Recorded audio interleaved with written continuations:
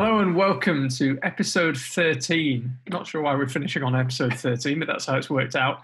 Of um, In Isolation, UKC's competition climbing chat show. Charlie Boscoe here with Natalie Berry and Mike Langley alongside me as ever. And this is just a bit of a wrap up show, really. Um, isolation really being lifted.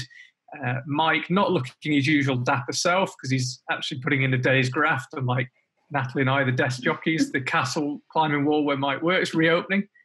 Um, tempting, tempting, yeah.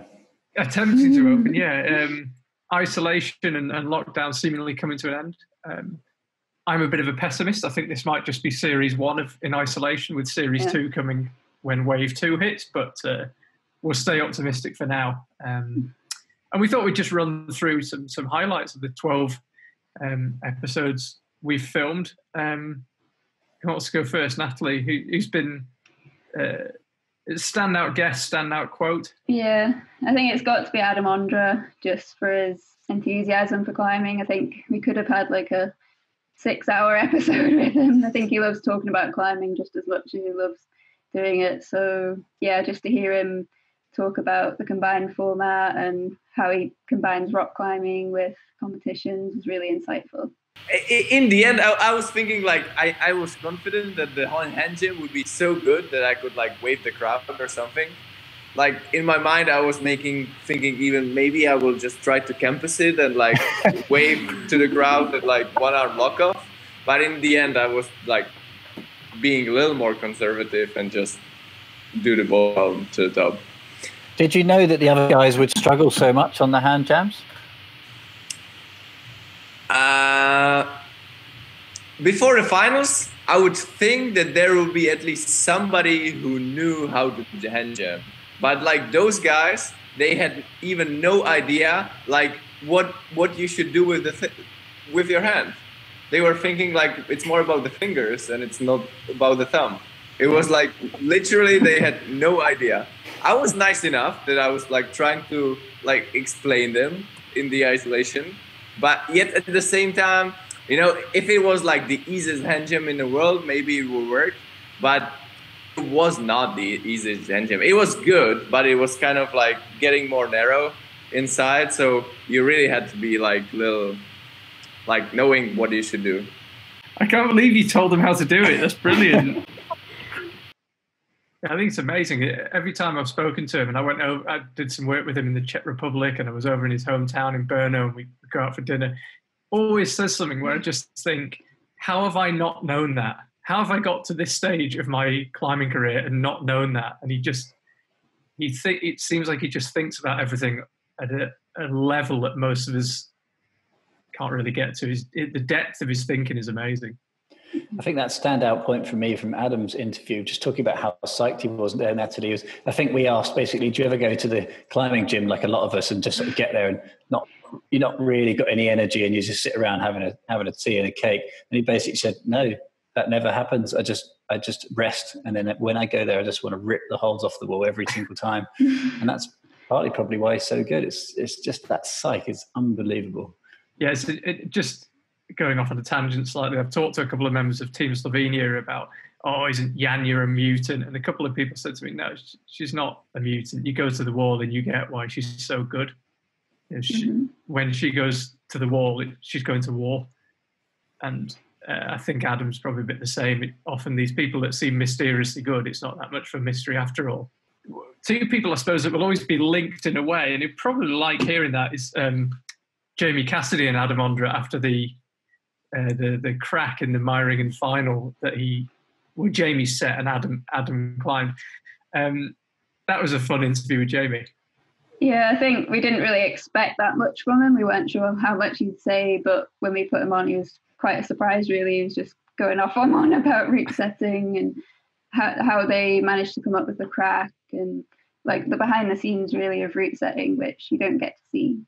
The smallest differences can play a huge amount into the result of the competition. And obviously, you've been route setting for a very long time and climbing at a high level, but ultimately there has to be a, a little bit of a slice of luck in the game as well.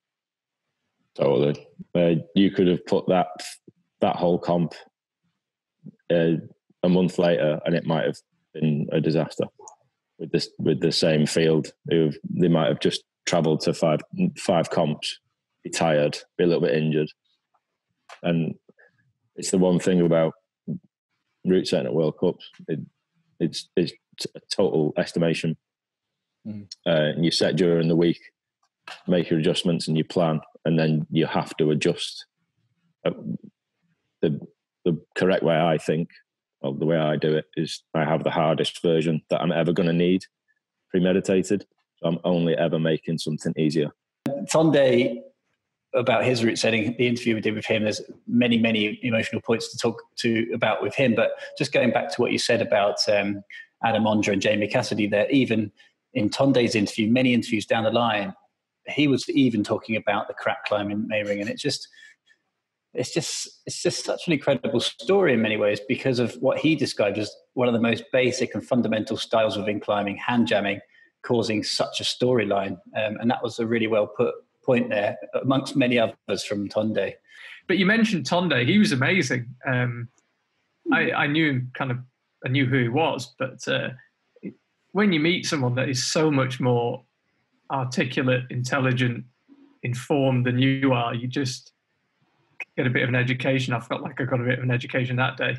yeah. Was, um, I haven't had many interviews kind of as challenging but rewarding as that. Mm. I liked how he kind of flipped the questions around and didn't just give us straight answers. He kind of deconstructed them and yeah, taught us all the things.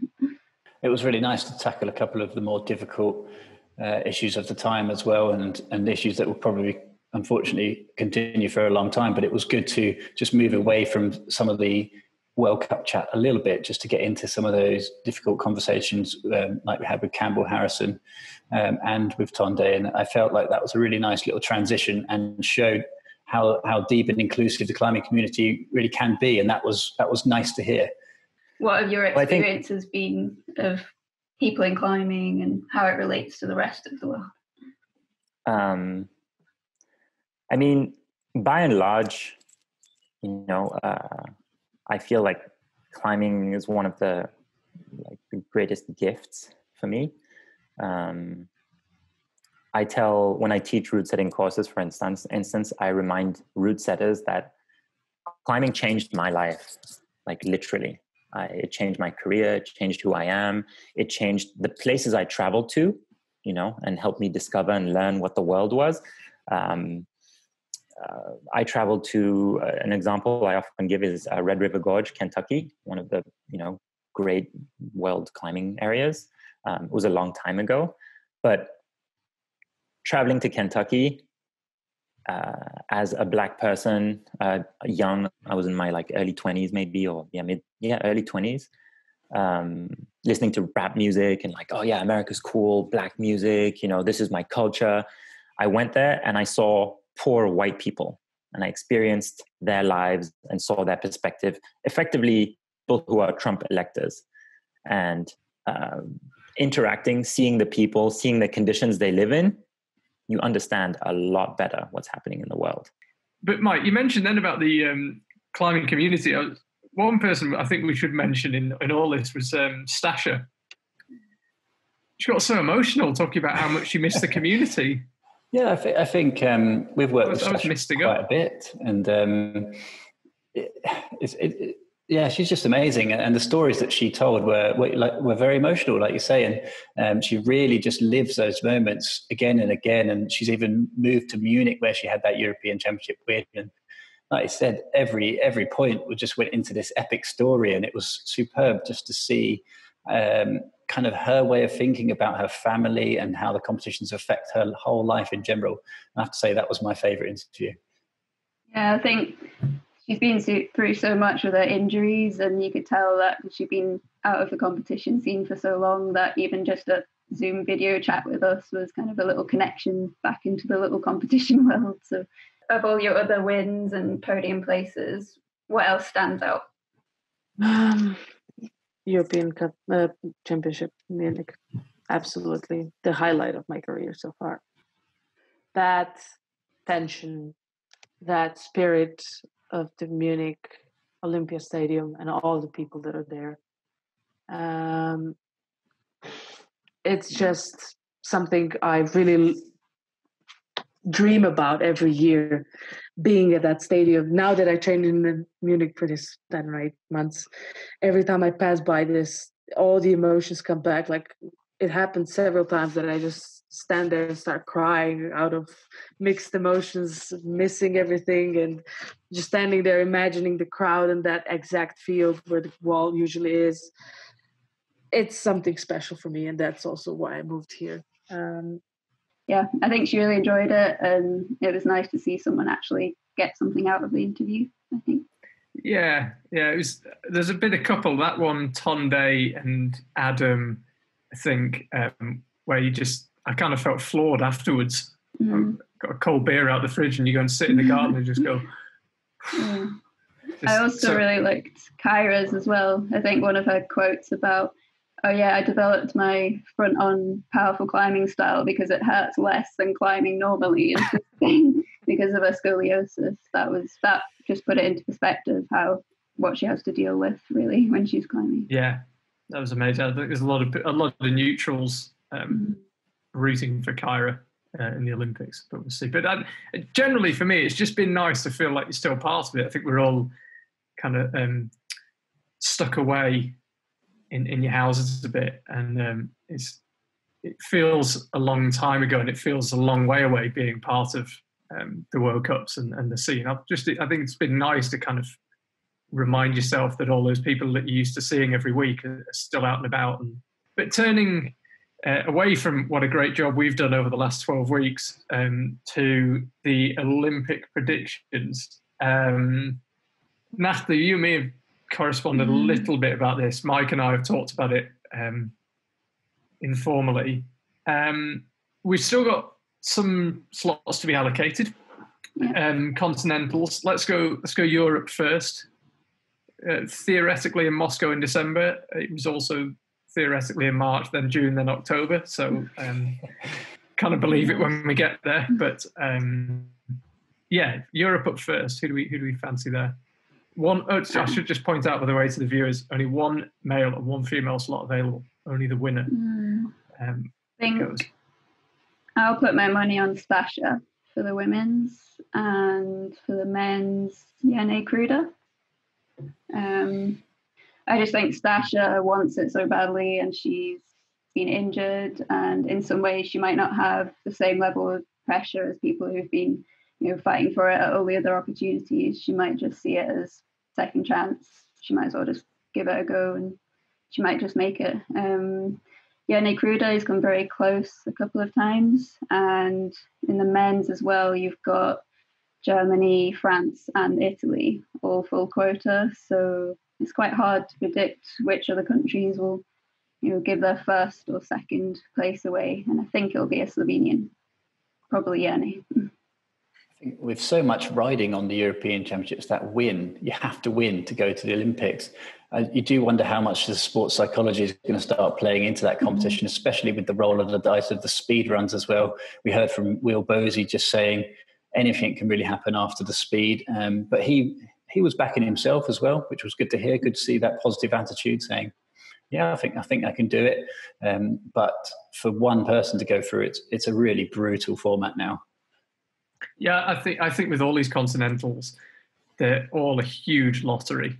I mean, even if Janja was taking part in the women's, you'd still say mm, it's it's it is a lottery. But I'll, I'll, I'll go with Stasha as well for the women. I just she's an academic. She's got lots going on. I don't know whether she'll go again in four years or whatever. I'm not mm. saying she won't. I don't know what her plans are. I think this is a good opportunity. Um, I think the other thing with Stash is that she's really good at one-off events, like championship events. She just seems to pull it out the bag. So she's probably got a good mental game going on. Yeah, I'll go with Stash. I'll go, I'll go with Will the men. Why not? I, I like Will. He's got the horsepower, um, and someone's got to win it. So, but I think Kruder will be a, a big challenge. Um, Oceania, not as many climbers that we know, but um, mm-hmm. Natalie, any any thoughts on that one? Yeah, it'd be really nice to see the two guests that we had on our show, Oceania and Campbell. Um, I think you'd be hard pushed to beat them, really. The odds-on favourites, and yeah, I think everyone considers them to be the ones to watch, even if they themselves are very modest about it in the interviews. Yeah, Campbell was saying, don't don't make this down to a one horse race. He he named a whole bunch of chaps there that he's going to be up against. And again, the same situation plays in. If you're odds on favourite, imagine what the pressure is on that. That this is your possibly one chance to go to the Olympics. Comes down to three disciplines in one day. It's again, it's just brutal and a good one to watch. I'm looking forward to it. Let's hope let's hope it goes ahead. Yeah, I hope so. Um, it's going to be in Sydney, isn't it? Um, I, I, think Oceania pretty clear favourite on the women's side, but I know Tiff Melius and a couple of other of the Aussie climbers have really been pouring their heart and soul into training for it. So not a foregone conclusion. I think the men's is actually a little more open. I think uh, Ben Abel's got a big result in him.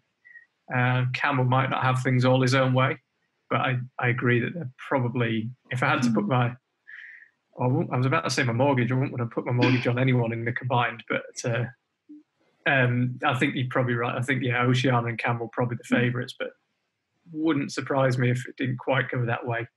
Um, up next, uh, Africa. This is a tricky one. I don't know many African climbers. I'm willing to hold my hand up.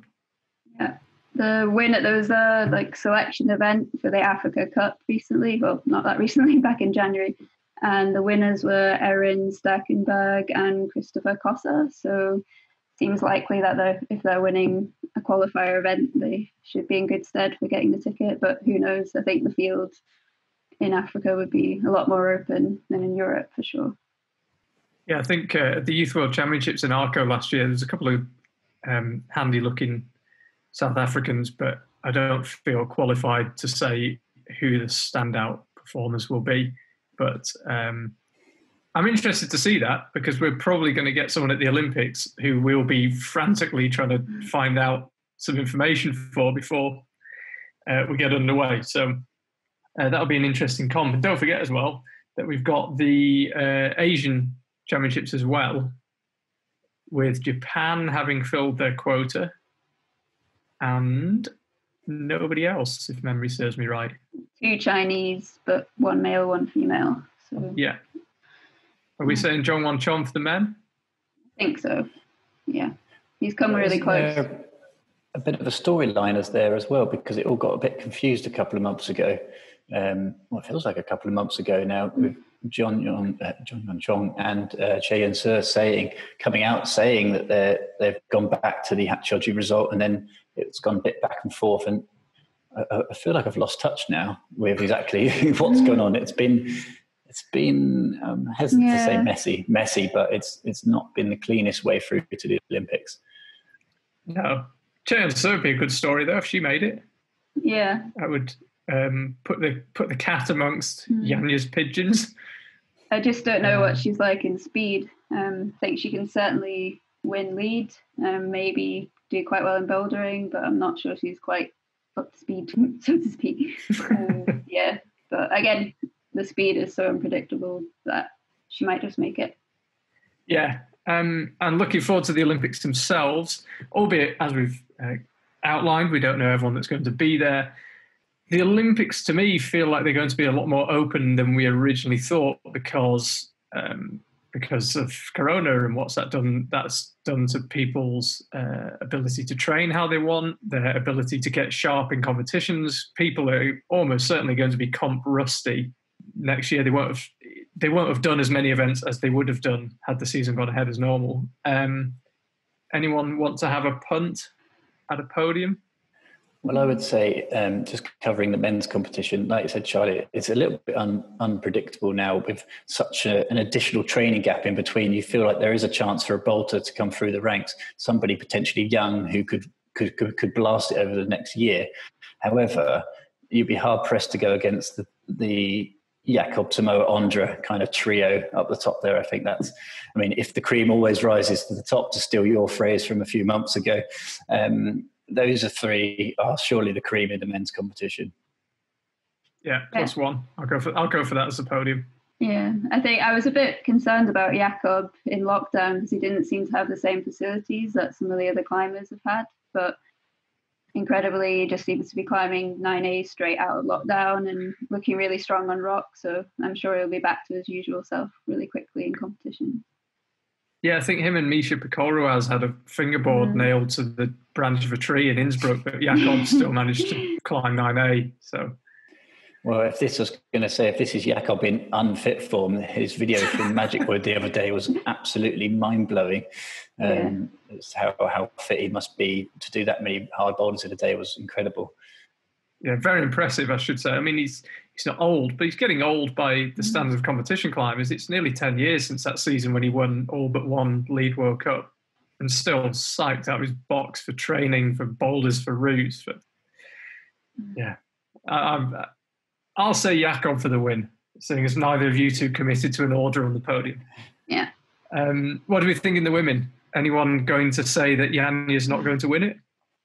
I think she's going to win it. And I think she's also had a really good lockdown. Like Slovenia was one of the first countries that declared the epidemic over in the country. And they've had a lot of time on the wall, a lot of time bouldering and getting the movement skills back up.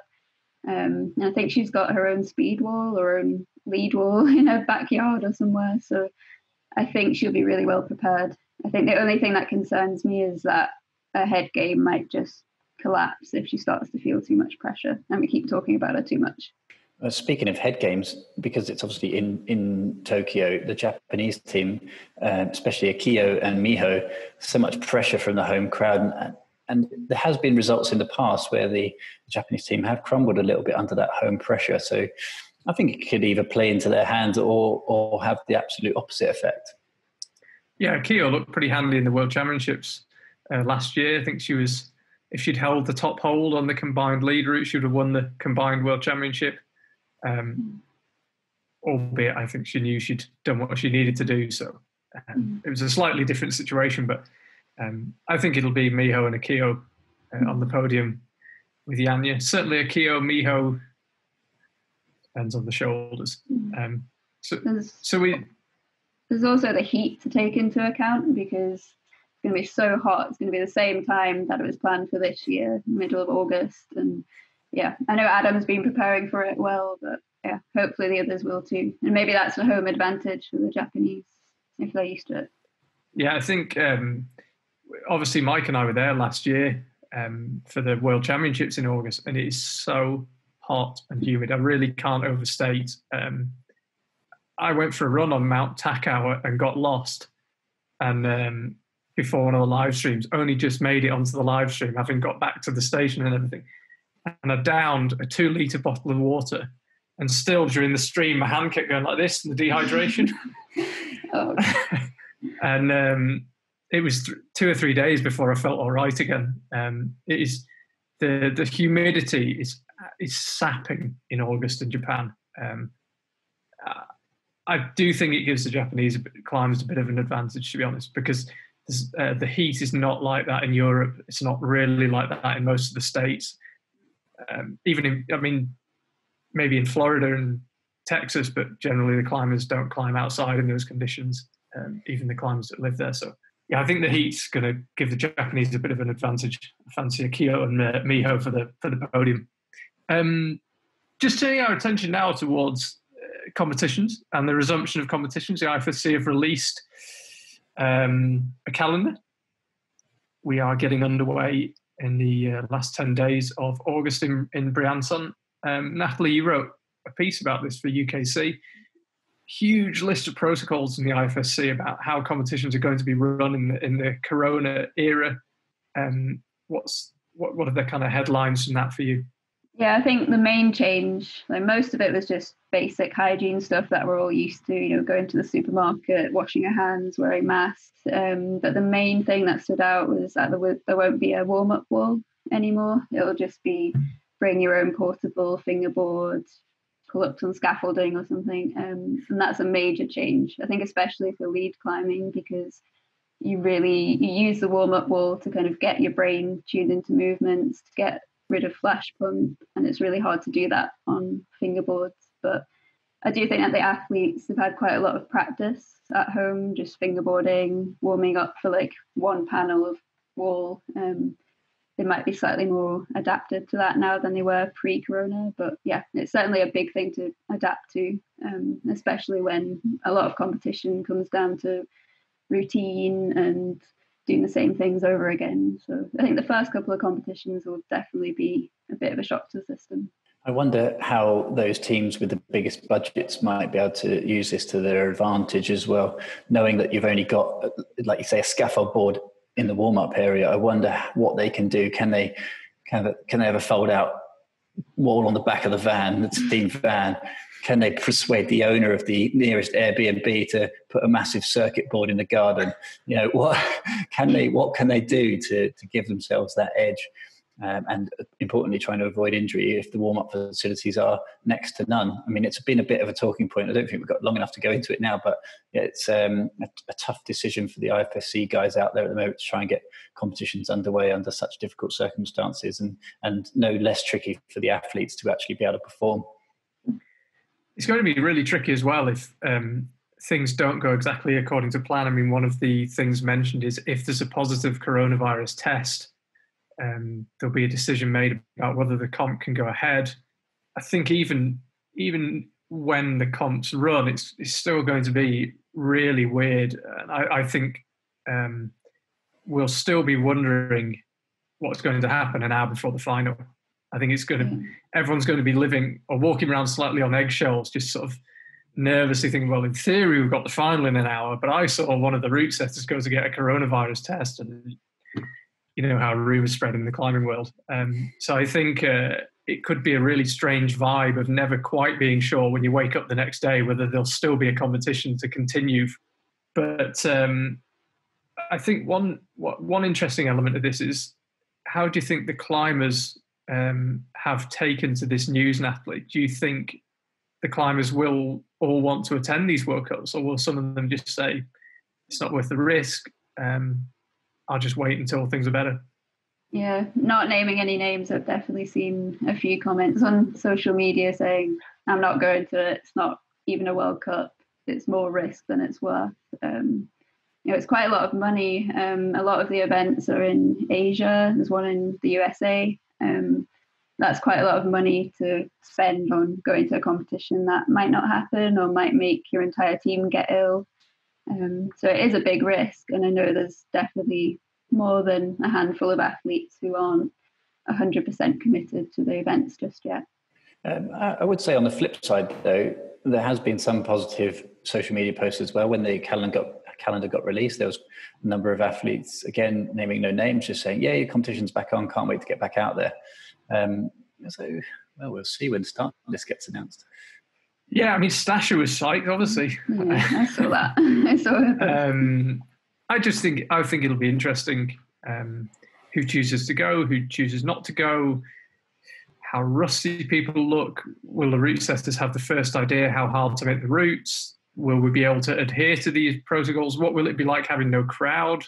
Briançon, Mike and I have, have done it. Natalie, you've been. You've got that massive field full of eight thousand people. Yeah brilliant atmosphere, almost festival atmosphere, and assume um, just either silence or um, the standard competition diet of bad Europop blasting out the speakers, yeah. uh, but with no crowd to drown it out. It could be a really strange feeling. Yeah, I've competed in one competition, the Quiff, with no crowd, and they had like canned laughter and canned applause, and it was really strange. Um, I think that will definitely affect how hard the athletes push. Like it can have such a massive impact psychologically. And if there's just the organisers and maybe 10 people, I think it'll dramatically change the atmosphere. I'm interested to see what it'd be like anyway. Yeah, I was going to say, Charlie, I don't think it will change much from a viewer's perspective on the live stream. I, I watched that, that Quiff event on the live stream um, back in March, Natalie, and, and honestly, couldn't really tell the difference. Yeah. Um, because you don't get loads of crowd ambient noise in a broadcast anyway, uh, rightly or wrongly. But um, I think from a viewer's perspective, the action on the wall is what's important, and maybe this is an opportunity to try a few new things with the sound as well. Well, for, everyone will be re- relieved to know they'll still be able to hear you and me, Mike. That's, that's don't worry, everyone at home is probably sweating about that. Um, There'll be even more listeners. I, I, I uh, yeah, they won't be able to drown us out at all. It'll just be Mike and I coming heavy through your speakers. Um, but I've got I've got a bit of practice. We've got the Austrian um, climbing mm. summer series coming up, my first look at um, a coronavirus competition. There's been a lot of talk about that. I mean, normally the Austrian Climbing Championships, I went last year just as a spectator and just sat there um, drinking a beer in the crowd. Going to be a, bit, a lot of um, attention on it this year, which there hasn't been before, and that could be quite interesting. They've got the Swiss and German athletes involved as well, or a few people, like an invitational. So it's not just Austrian competitors. So it should be quite interesting to. Yeah, they've got four four per country per discipline, I believe, uh, per gender per discipline per country. Yeah. Um, and we've got the, the so there's two identical competitions in July, uh, and then uh, boulder competitions, and then two in lead in um, in August. So I, I might I'll, I'll, see if I can write something up for UKC about what it was Yeah. like, any big takeaways. Um, got Anna Stöhr helping me out as well. A-lister. Um, yeah, exactly, exactly. I mean, I, I wouldn't want to say an upgrade from Mike. Um, Certainly won a few more world championships. I Between don't you, put yourself down. Yeah, exactly. 22 World right. Cup wins between you and Anna. I mean, it's not to be sniffed at.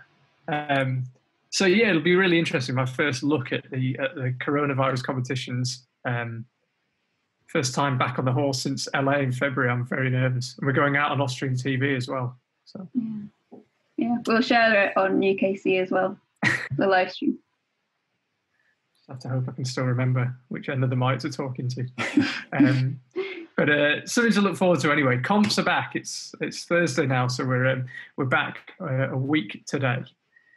Competition climbing resumes. So yeah, that seems a logical place to leave in isolation for now. Hopefully, there's not a series two. But, uh, But yeah, thanks thanks to both of you for all your work over the over the past 12 weeks and i hope everyone ho- at uh, home's enjoyed it Yeah. and Thanks, um, guys, as well from you, UKC. yeah hopefully we'll um, you'll be hearing us on the live streams for too long Yeah.